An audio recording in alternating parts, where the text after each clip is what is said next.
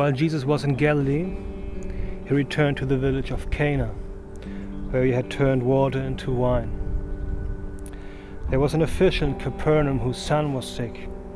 And when the man heard that Jesus had come from Judea, he went and begged him to keep his son from dying.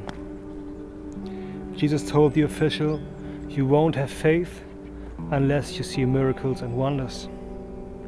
The man replied, Lord, please come before my son dies. Jesus then said, Your son will live. Go on home to him. The man believed Jesus and started back home. Some of the official servants met him along the road and told him, Your son is better. He asked them when the boy got better, and they answered, The fever left him yesterday at one o'clock. The boy's father realized that at one o'clock, the day before, Jesus had told him, Your son will live. So the man and everyone in his family put their faith in Jesus.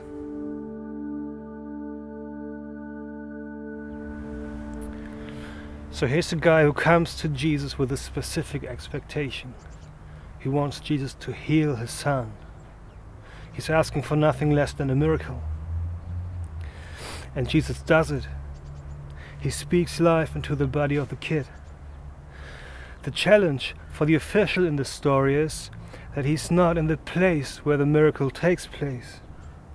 So in that moment, he's left with a promise and a long way back home. Your son will live, Jesus said. Sometimes we need a miracle, but all we have is a promise and a long way ahead of us. Jesus then asks us to trust him on the way. So as I read parts of this passage again, check out the order of events. The man replied, Lord, please come before my son dies. Jesus then said, Your son will live. Go on home to him. The man believed Jesus and started back home.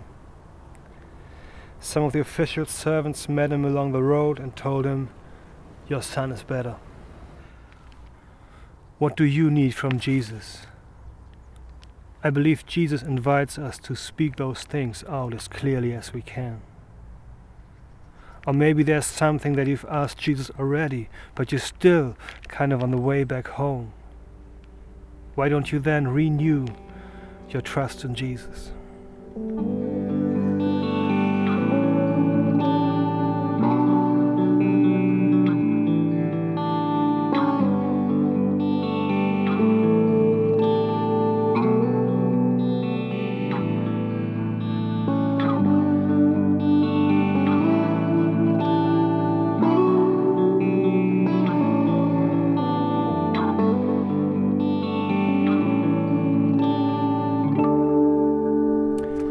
Let's pray together.